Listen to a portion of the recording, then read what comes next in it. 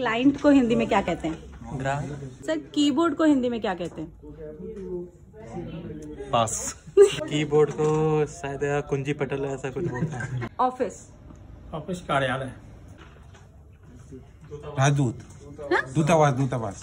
Storage को हिंदी में क्या कहते हैं? क्वालिटी को हिंदी में क्या बोलते हैं यार? क्वालिटी को क्वालिटी बोलते होंगे।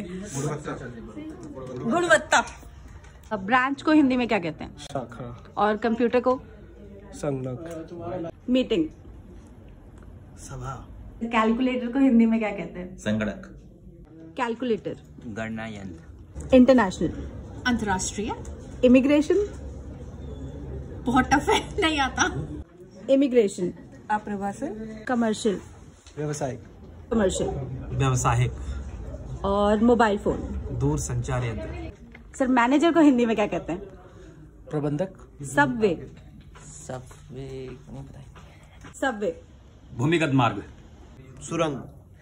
कॉर्पोरेट। निगमित। कॉर्पोरेट। निगमित। टारगेट। लक्ष्य। रीलोकेशन को हिंदी में क्या कहते हैं? हाँ वो आप मेरे को बता देना पता नहीं पास। पुनर्वास। स्थानांतरण। Thank you